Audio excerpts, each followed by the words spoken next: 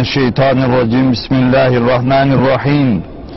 سبحانك لا علم لنا إلا ما علمتنا إنك أنت العليم الحكيم. رب اشرح لي صدري ويسر لي أمري. واحلل عقدة من لساني يفقه قولي. ويفوض أمري إلى الله. إن الله بصير بالعباد. أعوذ بالله العظيم وبوجهه الكريم وسلطانه القديم من شر الشيطان الرجيم. الحمد لله الذي أرسل رسوله بشيرا ونذيرا والصلاة والسلام على من أحيا الدين بعد أن كان أسيرا وعلى آله وأصحابه المقدمين على الخير ولا واسيرا اعلموا أن أفضل الكتاب كتاب الله وأفضل الهدي هدي محمد صلى الله عليه وسلم وشر الأمور محدثاتها وكل محدث بدعة ve külle bid'atin dalale ve külle dalatin finnar. Peygamber Efendimiz sallallahu aleyhi ve sellemin cümle peygambere nizam aleyhi salavat ve teslimatın ehl-i beyt, el, ashab, etbalar, rıdvanullahi teala aleyhi mecmainin bir cümle mümin ve Müslüman kardeşlerimizden ithal darbaka edenler rahmetullahi aleyhi mecmainin hasaten eserinden yararlandığımız Ahmet Ziyaddin Gümüşhanevi üstazları, üstazlarımız, müşahefenlerimizin hazırun ve dersimizi dinleyen kardeşlerimizin, geçmişlerimizin ervahçiler Fatiha. Ahabbul amali amel ilallahi Allah'ın yanında amellerin en sevimlisi yani en çok Allah'ın sevap verdiği ameller içerisinde en üstünü nedir? Bu devrin insanı az çalışıp çok kazanmayı hedefleyen böyle bir pragmatist, çıkarcı bir zihniyetle. Bu modern devir bu. Öyle yetiştiriliyoruz. Öyle ne olursa olsun diye aramayan kaç kişi çıkar. En güzeli bu. Öyleyse aman bunu yapalım. Çünkü biz az yapıp çok kazanmaya hevesli öyle yetiştiriliyoruz. En çok kazandıracak Allah yanında amel nedir? Es-salatu li vaktiha. Namaz vaktinde kılınan namazdır. Evet bazı rivayette ala vaktiha. Şimdi bunların farkı var. Farkı var. Şimdi diyorlar ki es-salatu ala vaktiha veya li vaktiha ezan okundu. Hemen kılmaktır. Bu tabirler onu ifade eder. Yani ben öyle kimseler görmüşümdür. Ezan okunduktan sonra işi yerde bırakıyor, namazını kılıyor. Daha iş yapmıyor. Gerçekten böyle kahraman adamlar gördük. Kadınlardan da gördük. Konuşmayı bile yerde kesiyor. Kusura bakma diyor. Namazını kılacağım, sonra devam edeceğim. Böyle kadın da gördük. Erkek de gördük, hoca da gördük. Şimdi bir böyle anlayanlar var. Aftalul ibadeti yahut da ahabbul amal ilallahi as-salatu li vaktiha ilk girdiği anda kılmaktır. Her işi bırakıyor. Bir kahramanlık. Bir de diyorlar ki mesela öğlen namazının vakti güneş tam ortada dan devrildiği tam ortadayken bir gölgesi vardır her şeyin kısa gölge. Buna feyzeval derler. İşte bu tam orta çizgiden güneş batıya döndü mü öyle vakti olmuştur, öyle girmiştir. İkindi namazı vaktine kadar arada yazın 3 saat 4 saat olur, kışın 2 saat olur. Günün kısalmasına göre bir zaman geçer. İlk girdiği andan, ilk girdiği andan çıkış anına kadar ki olan zaman namazın kılınma vaktidir. İlk anda da kılsan eda olur, ortasında kılsan veda olur, sonunda aşmamak kaydıyla vaktini, kılsan yine ada olur. Peygamber kazaya bırakmayın demiştir. Kazaya bırakılmayan namaz amellerin Allah katına en sevimlisidir, en çok sevap kazandıranıdır demiştir diye de yorumluyorlar. Birincisi kahramanlıktır. Bu insanın iman bütünlüğünü gösterir. Her işi bırakıp, konuşmayı bile bırakıp hemen namazını kılalım arkadaş demek hassasiyet sahibi kimseler için olan bir şeydi. Sanki bu hadiste o kastediliyor gibi. Öyle gibi ama fıkıh açısından bir namazın ilk vaktiyle çıkış vaktine kadar olan bölgede kılsanız Camiye giderseniz 27 kat. Cemaatte kılarsanız 27 kat. Evde kılarsanız işte verilecek sevap kadar sevap alırsınız eda olur. Hesaba çekmezler sizi. Neden vakit gelince kılmadın sonuna kadar bekledin demezler. Edadır, doğrudur, yerindedir. Terk ederseniz zamanla kılmazsanız büyük günahtır. Hiç mazeret yokken onun için ayrıca kaza etmek bir yanında tevbe istiğfar etmek lazım gelir. Bu hadis-i öyle söylüyorlar, anlıyorlar. Amellerin en makbulü namaz vaktinde kılınan namazdır, namazdır. Hanefi fıkhına göre bazı namazlar hariç namazı ilk vaktinde kılınmak aftaldır. Ama mesela şey gidememişsiniz, bir işiniz dolayısıyla cemaate gidememişsiniz, yatsı namazına gidememişsiniz. Gece kalkmanız garantiliyse yatsı namazını saatinizi kurup gecenin son bölümünde sabah namazını aşmamak kaydıyla son bölümünde kılsanız daha aftal olur. Daha aftal olur. Mesela sabah namazını Hanefi fıkhına göre arz ediyorum. Sabah namazını imsak vaktinde girer. Güneş doğana kadar devam eder. Hanefi fıkhına göre sabah namazını imsak vaktinde değil de ortalık ağardığı zaman kılmak daha faziletli. Çünkü Peygamberimiz sallallahu aleyhi ve sellem'in sünneti ve hadisi vardır. Esfiru fil fecr. Sabah namazını ortalık ağarınca kılınız. Çünkü ecri çoktur diyor. Bir kimse sabah namazında cemaatle camide namaz sabah namazının farzını kılmak üzere camiye gitse bu Hanefi fıkhına göre 25 dakika 30 dakika kala kılınır farza durulur o zaman farza dursalar sünnet üzere uzun ayet okunur sabah namazında. Arkasında işte ayet-ül okuyor müezzinlerimiz. Güzel bir şey. Bid'at falan değil hadis-i şerif vardır. Her namazın arkasında ayet-ül okuyan bir mümine müminin e, cennete girmesine ecel engeldir diyor ölüm yani ölürse cennete gider. Her arkasının arkasından e, ayet-i okumak bu kadar faziletlidir. Onun için bizim camilerimizde de asırlardan beri bu adettir, güzeldir. Olsun Subhanallah, olsun Elhamdülillah, olsun Allahu Ekber, deniz köpüğü kadar günahların silinmesi sebep olur. Arka salaten tüncine, kazaları bela engel olur, Subhanallah. Bunları okurken güneş doğu verirse nafile hac ömrüne sevabı kazandırır diyor Peygamberimiz sahih hadisi var. İmam Azam bu hadislere bakarak sabah namazını geç kılmak, ortalık ağır kılmayı bu, bunları da kazansın diye daha faziletlidir demiş. Ama Şafiiler vakit girer girmez kılarlar. Onlar da bu es-salatu ala vaktiyeyi öyle anlıyorlar. Hepsine kapsın kapsamının hepsinidir diyorlar.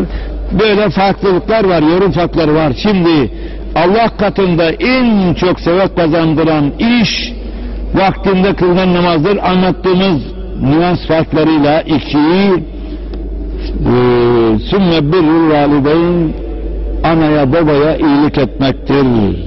İhsan etmektir. Ne demek ihsan? Hak etmeseler bile vermeye ihsan derler.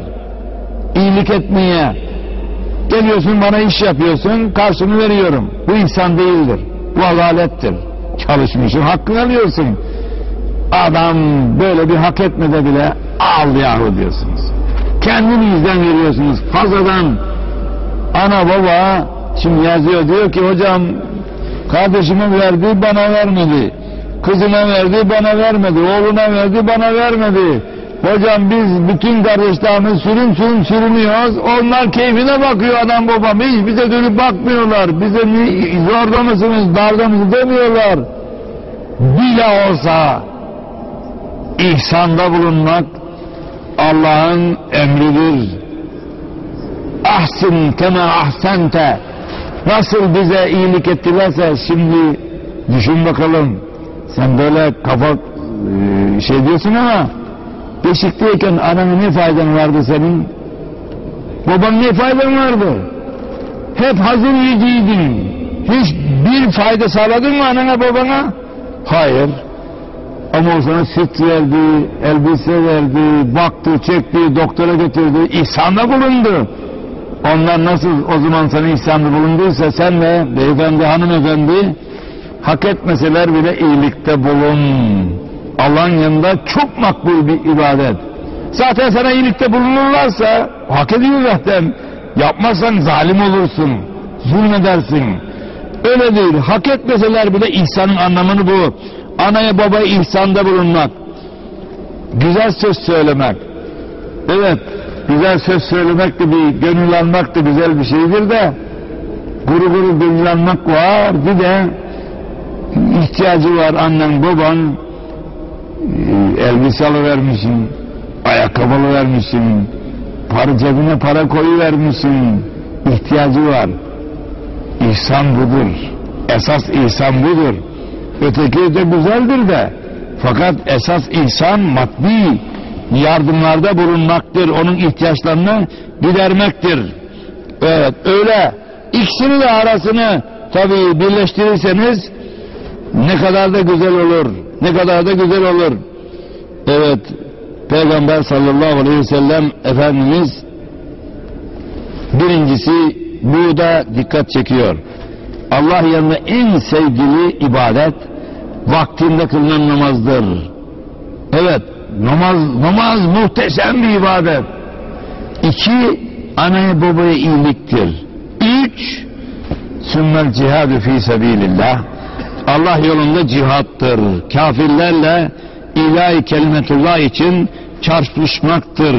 İslam'ı yaymak, insanlığı yaymak, zulmü önlemek için. Evet, mesela anarşistler geliyorlar, çoluk çocuk demeden evleri yakıyorlar, öldürüyorlar, malları yağmalıyorlar. Bu bir zulümdür. Sen de asker olarak gidiyorsun bu zalimlere dur diyorsun burada ölüyorsun. Buna ölüm demezler. Şehit derler buna. Zulmü ölenme uğrunda ölmek şehitliktir. Böyle cihad-ı fi sebilillah'tır bu. İlla yani Çanakkale'de tabii. Elbette. İstiklal Harbi'nde tabii. Elbette ama yine aynı şekilde insanların can, mal, emniyetini korumak uğrunda fi sebillah'tır bu da öldürülürsen sen de şehitsin fi sebillah cihattır bu namaz anaya babaya iyilik sonra cihat cihat neden acaba tabi neden şimdi cihadın faziletini cennetin önemini şehitliğin önemini bize kim bildirecek? Hocalar bildirecek. Sen nasıl duyacaksın?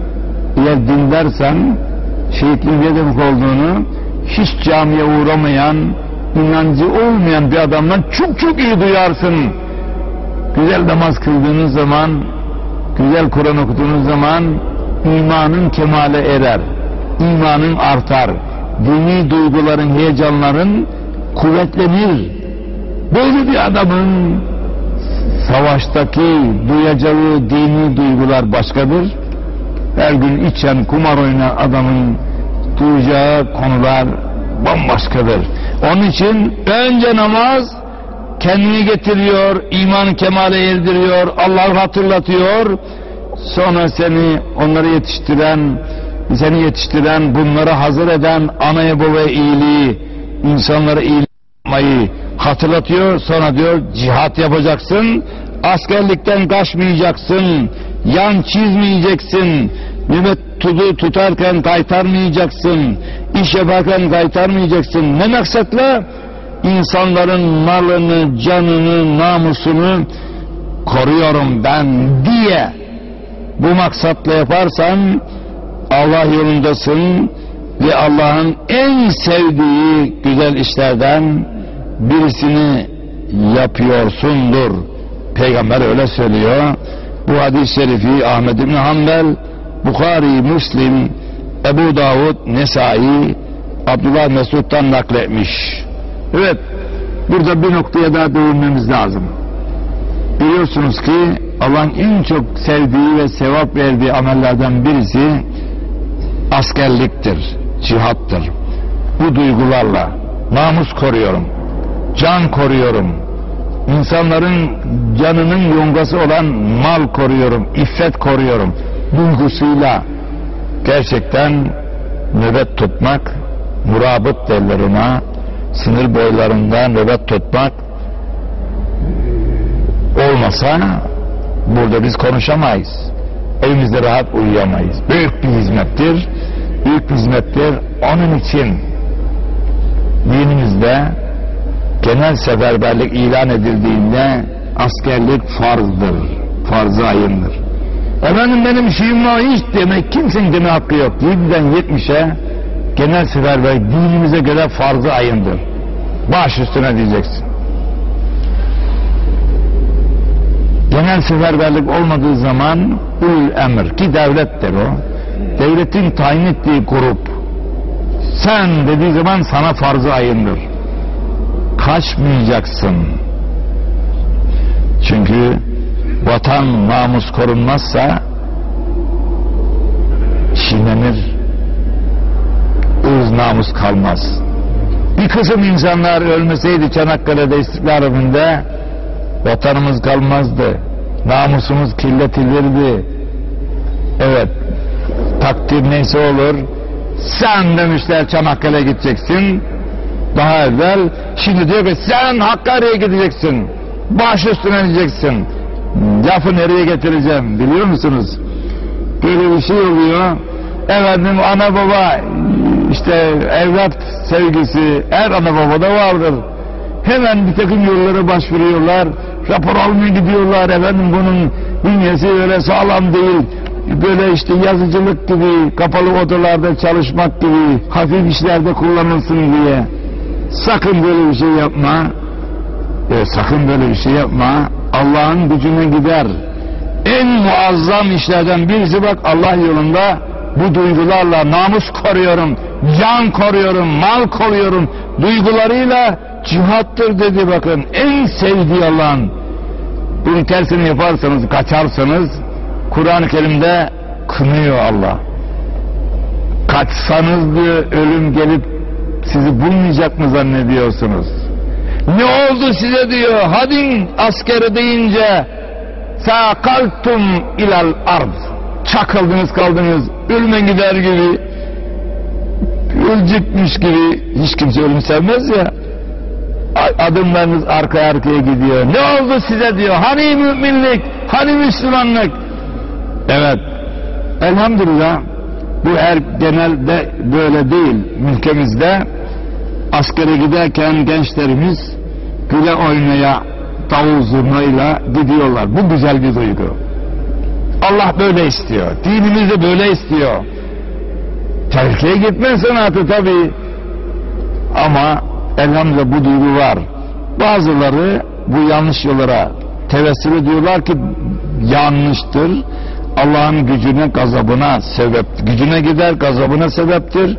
Namus bekçiliği, can bekçiliği, canın yongası olan mal bekçiliği, askerin görevi de budur. Veya polisin görevi de budur. Bu işler yapanların görevi budur.